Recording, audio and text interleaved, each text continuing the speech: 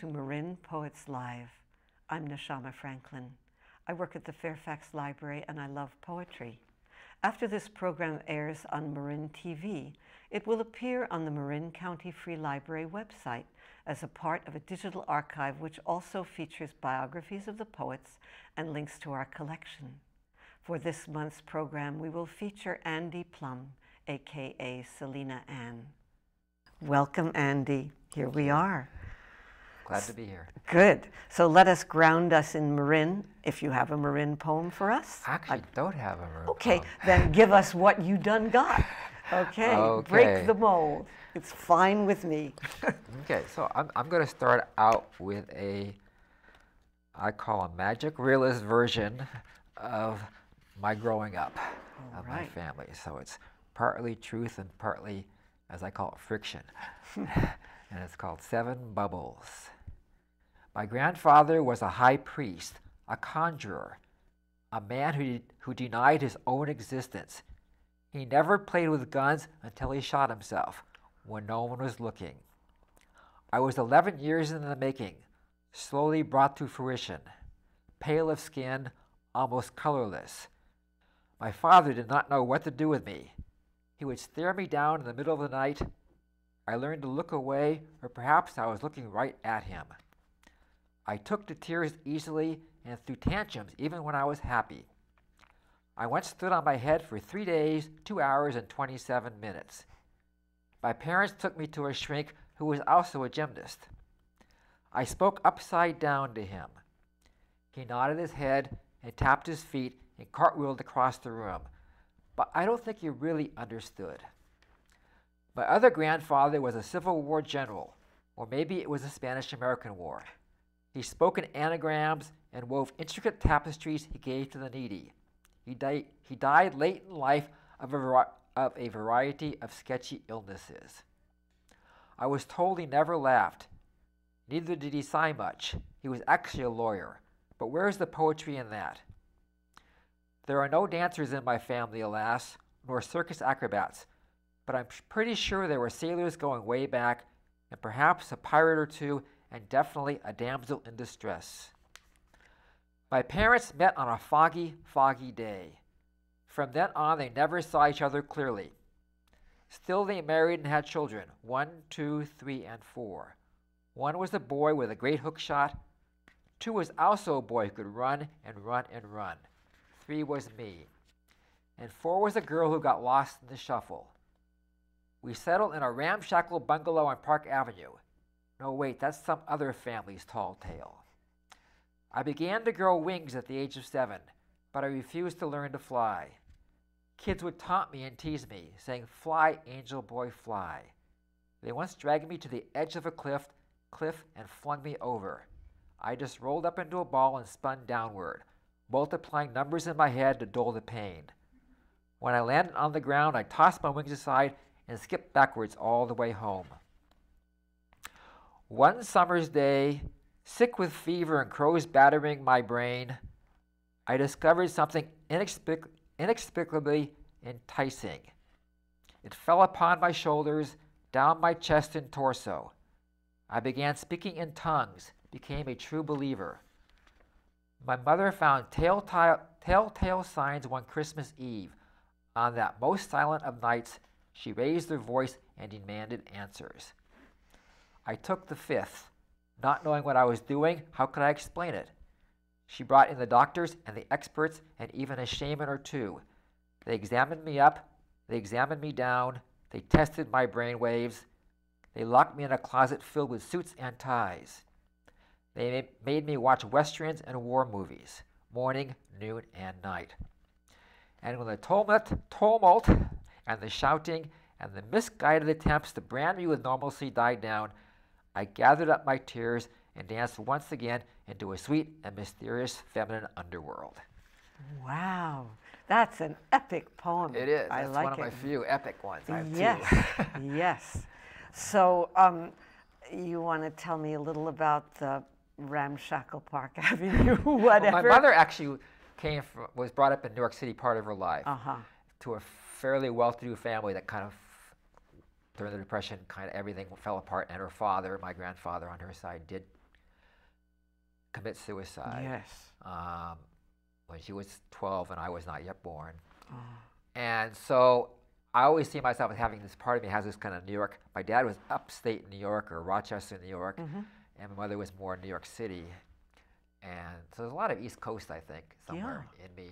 And her story is really interesting, but it's also pretty sad too. And it deals with a lot of, of, of having, seemingly having money, but a lot of it was family money, and a lot of it was, was kind of fading away. hmm And um, Do you have a poems for her in there? what? Do you have a poem for her in there, or of her, or by her, or is this her appearance in your poetry? My mother? Or? Yes, your mother. Um, I'm not sure what else there is. Uh, she's definitely part of, of, of, of everything in a Oh, of sense. course. Yeah. yeah. Um, but I have my father in a poem actually, which is interesting um, because I didn't know him very well, and, he, and he was, Oh. there was definitely a distance going on there when I grew up. Right. But, Would- um, would you like to haul him out for us now? Actually, that's an interesting poem. Okay. Um, and it's different because it's pretty much close. Actually, it's, it's conjecturing.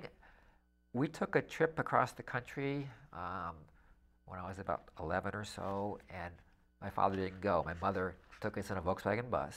Mhm. Three boys, two boys, and one girl and me, four kids, and then a family friend on an 87 day trip Oh. around the country wow. and big undertaking and my dad bowed out pretty much right away Yes. it was my mother's see, for us to see the world or see Yes. america you know Right. and uh, and i never really thought much about what what my father was doing you know what he would do because he was I mean, he was used to having a family around it, and so I kind of conjectured, and, he's, and he Ah. was a reader called Summer of '63. I wonder what my father thought about as he sat at our dinner at our dining room table, surrounded by silence for nearly three months. When he dove into our pool on a hot summer's evening, did he feel free? The kind of freedom that shoots up and down your spine and makes you want more, but the more takes you to places you can't bear to go.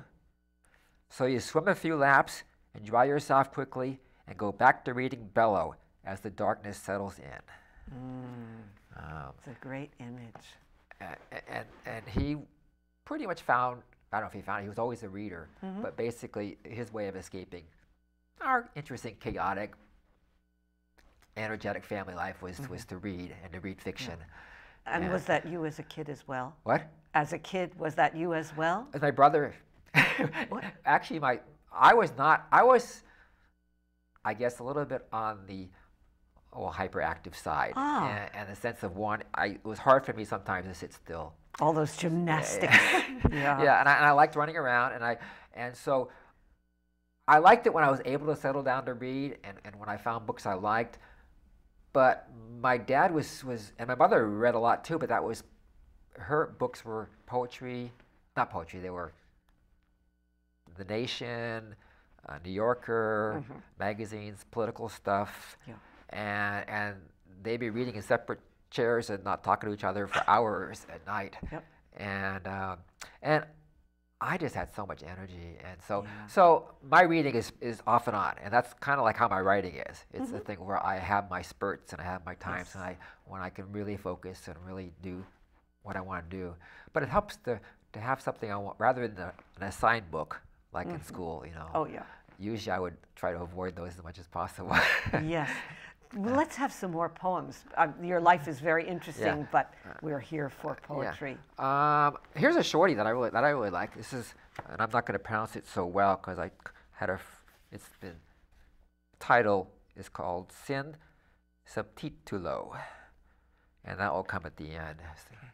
She brought me her heart, layered like a cake. I ate and I ate and I ate, and still I was hungry. I have come to believe that love is a foreign film without subtitles.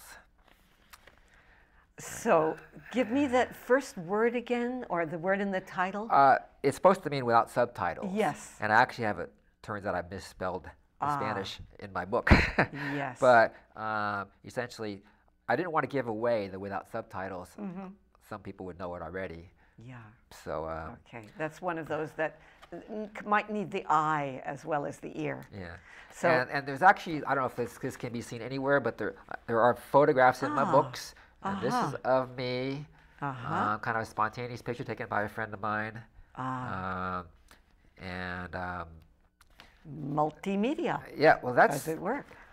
I'm definitely someone who likes to combine things, and Yes. and poetry is not my. It's something I do, and I and I, Uh-huh. I have written a lot more the last since I've actually been publishing, you know, Ah. and and I find it if I just you know just say okay, it's time to start writing. you know. All right. Um, So and, uh, you are starting to writing, and we want to hear it.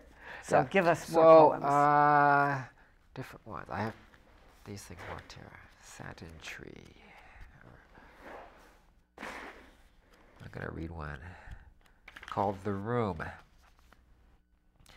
In a tiny hotel with only one room and a single bed that folds up into a chair, a light flickers throughout the night. People go there to forget, to forgive, to disintegrate, to reinvigorate. My story is of a woman, stressed in multiples and tired from prayer. She layers herself for sleep, first the anvil, then the gun. She dreams of stark blues and ransom kisses. She awakens in a house a thousand miles away. Her husband is not her husband.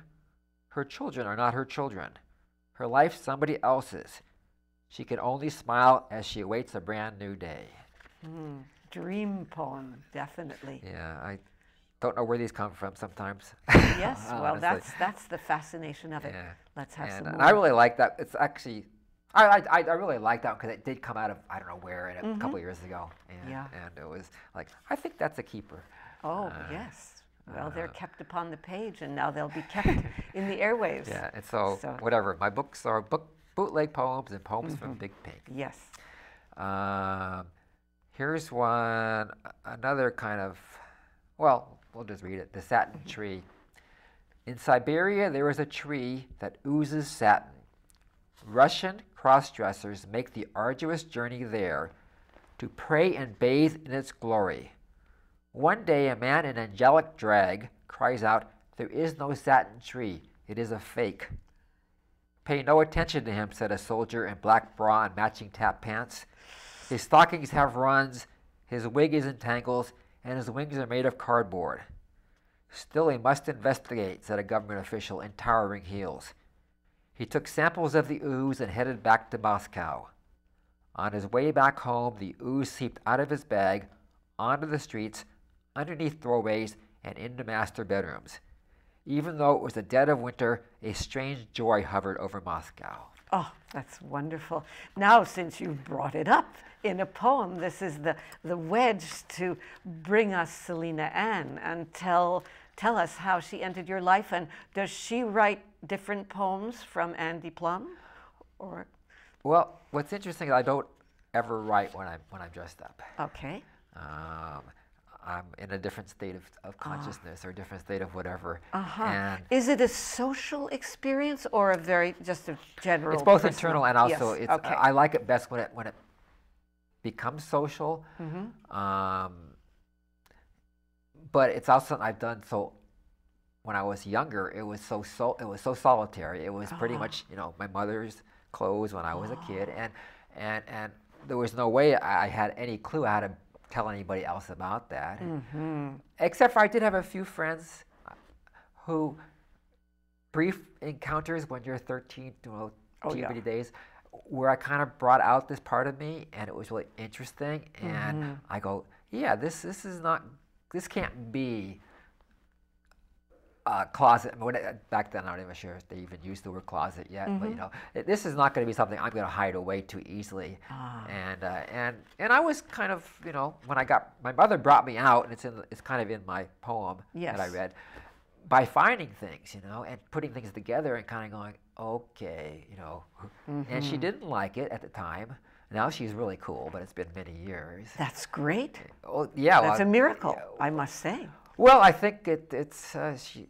I was her in some ways her not my favorite. I was the one. She, we had you know we talked a lot and and there was a real break there when she found out, and it was like, what do you talk about? You know, what do you do? Mm-hmm. And and I think that for her, it was a matter of of I was pretty adamant. I mean, I, I didn't, Yeah. you know, I, I didn't know what I was going to do with Selena or pre Selena, but I knew that it was part of me. I knew Mm-hmm. Right. early on. I didn't know anybody else who did it other than these friends I sort of did things with, but it was like, you know, Yeah. I love all the wings imagery because you they're behind you, but you can't really hide them. there's certainly a lot of uh, angels in my poem. I don't even know where that all comes from. Right. well, let's let's fish around some more in your wild okay. subconscious and see see what emerges. Okay, I'm gonna do actually one of my, because this is a, a little bit of a turn, but it's one of my darker pieces. Um, Good. I you know I love dark. yeah, I think poetry to me, the or I call it poetry songs. My favorites usually are, are very sad and very you know, and they're dealing with longing and needing and, and, and all that. So I I certainly have written my share Yes. of those poems. Um, and this one is on page seven. It's called Darkness, Darkness. My nerves spread across the mirrored floor. I follow the ticks, the impulses, the loose wiring. The night is moonless. The stars made of dust, the angels forgotten. God a misprint. I am deeper into nowhere than I have ever been before. I pray for sleep, not in short gasping spurts, but infinite, sweet and tender. I gather up my father's pills and sew them one by one by one onto my longings and desires.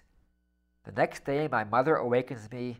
She tells me, she tells me of my father's restless night and removes his pills one by one by one from my longings and desires. Mm. Wow. Is your father still alive? My father died nine years ago. My mother's still alive. Yes. And uh, so uh, I don't know what to say other than. Uh, Right. Then, then there, uh, there they yeah, are, and is- here you are. Yeah, is Let's- that. Um, but I spent, uh, you know, a lot of time, you know, within this world of both Selena, you know, pre-Selena, Selena, and also I was fairly social too, and and it was, you know, the, I guess. I was lucky to get some good feedback from people, from a girlfriend who kind of discovered Selena, and and my mother came around. Not you know she had to deal with it, but um, and I really feel in some ways I was kind of blessed to have this incredibly intense, you know, mother screaming at me on Christmas Eve. You know, uh, what the hell are you? What the heck are you Uh-huh. doing, Andy? What is this? Who are you? You know, Ah. And uh, and and I don't have to deal with the the whole thing. A lot of She kind of blasted you out of the Yeah, closet, yeah. as it were. Yeah, and, and I've kind of run with it, but again, I, I do it when I do it. It's it's you know I do it. It's uh, it's not full time. It's not Mm-hmm. you know, and it's but it's it's something I know. Right. Uh, well, most of us have something inside us that we that isn't obvious to others, but that's what poetry keeps evoking in us is those hidden secret selves. So let's hear more hidden secret selves from okay. you. Uh, here's one about. Uh, this one I, I like this one a lot. This is one of my favorites. It's called Midnight Lost, and it's based on a true story. It's actually pretty pretty damn close to truth. um, the Midnight Lost. She spoke of my frailties, of my fear of flowers, of my wanting nothing and needing everything, of my vanishing at the moment of orgasm. In a panic moment, I had stolen her sister's dress. I spit out excuses right and left. I told her that the cut of the dress made me half crazy. I blamed my illogical upbringing, and anyway, stealing was a lost art. She told me she was losing interest in my breath, that my eyes were prickly like stems of roses, and my touch like metal spikes piercing her skin. She ran off with a waitress who served her breakfast in red and danced naked in the snow. I saw her once again through my rearview mirror. She looked strangely edible, like dew, like fleece, like fire. I cried three tears, stepped on the pedal, and sped off towards the midnight lost. Wow. Somehow I keep seeing Chagall in here. Some, because there's all these kind of floating images around the corner that are bizarre and concrete and wonderful. I, I like that uh, comparison. I, I, Yes. have got a lot of Ch- Chagall and Paul Klee Ah, and Moreau and that, that whole era to me, it's, Mm-hmm. you know, is really interesting to me, uh, Yeah. image-wise. Um, and I want to thank Allison for, she, I haven't seen her in many, many years, but uh, Uh-huh. she, she was, right. And, and I was also interested in, um, she served me breakfast in red. Right? That's a cute one. I've got I've got puns here and there, Mm-hmm. and uh, at times I think that's kind of you know again poetically it's too easy almost, but that one worked to me. so you should know we have about five minutes and your I have no poems are short, but let's have poetry, poetry. okay. Uh, Okay, the ones you're, you're the ones you really want out there. Uh, let me go for a political poem, just because I have that part of me that Mm-hmm. uh, of some sort or another that uh, called Revolution question mark question mark question mark. The last garden they planted was prickly and difficult. Tomatoes that looked like loons, strawberries dripping with oil. The earth was parched despite torrents of rain. The world spins round and round, yet nothing falls and nothing's found. There can be no revolution without black negligees. Shout if you must, but learn to whisper too. There can be no revolution without question marks. The world spins round and round, yet nothing falls and nothing's found. I'm going to wash my face in cold ash and bitter tea, and aim for that space where everything penetrates and my body levitates above the fractured light. The world spins round and round, yet nothing falls and nothing's found. Ah, this is like a song. It has a refrain. Give me a guitar and I'll Yes. Are you a musician as well? No, I'm, no. I'm not. Okay. I actually tried to be one for a brief time with, a, Uh-huh. with someone's guitar, and I, I go, no, I think I'll, I'll, I'll Now, were you were you making these poems early on, or did you take on the mantle of poet later? Um, I was always a writer of some sort, and I, Uh-huh. I was a journalist in high school, which Ah. a lot of people I know, you know, paper, you know, the paper. And Yeah. I was, and I was good at it, I think, in some levels, but it bored me after a while, and I Ah. really wanted to be more creative with it. Mm-hmm. And, but I also went through many periods where I just didn't didn't know what to write, and and I didn't see it as being a career. I didn't see myself as being that disciplined. So I was, Mm-hmm. so I would do. I learned computers and word processing and stuff like Yeah. that. So I ended up going back to writing at different times, and just the, really the last ten years, I've been. But I, that's where the books came from. Yes. And yet that first, my, an early poem that I didn't read, but it's very similar to the first one I read, the family poem, Uh-huh. um, goes back about 20 years. And that was Ah. kind of like, like, oh, I think I can do this, you know? Mhm. And did you have any training in poetry? Did you take any courses, or did it just? I certainly took courses. I, I, uh, I'm, I'm more influenced, I think, by, by songs and, and, and, and, and Leonard Cohen and Bob Dylan. Yep. Uh, and- see, I, I heard it. I heard yeah, it. yeah. And, and, their imagery, and, Uh-huh. and I find that, I mean, I'm learning more about poetry as as people, you know, tell me more about different poets and stuff like that, and there's a vast world out there that I don't know much about. But I think that I, you know, a lot of me is influenced by my song. Yes. And, Good. uh, Well, let's have let's have um, One more. one more. This is it. This is your swan song on this program, at least. Uh, oh, it's so scary to pick the I know. last poem. oh, this will be. Uh, I'm going to read this one. Uh, uh, Okay. Pretend, I'm, a, pretend I'm, I'm rapping, which I don't know anything about rapping. okay, gender rap. Heels so high, touch the sky, today I fly. I'm the ambassador of drag, ain't afraid to brag. If you haven't heard, I'm spreading the word. I say tomato and I say tomato. They tell, they'll tell us you're either a guy or a gal. Oh my, my, that's such a lie. If you ask them why, they say it's God's will, which gives me a chill. I've had my fill of such ignorant swill. Don't they know God's one of us? She's so fabulous, absolutely marvelous, outrageously androgynous. Man or woman, it's all an illusion, a complete delusion. That's my conclusion. Do I suffer from gender dysphoria? No, I exalt in gender euphoria. This society's got a case of gender either or Won't dress your boy in pink, afraid of what the neighbors will think? You should see a shrink for making such a stink about the color pink. When are we going to come to our senses, break down the fences? Enough of this repression. It's time for transgression and creative expression. One day this away, one day that away. Or mix and match. That's the catch. It's so natural, supernatural. Yes, I say tomato and I say tomato. And you say it wonderfully. And you oh, just you. summed everything up just at the very nick of time. Thank you so much, Andy Plumb, aka Selena Anne. Thank you very much.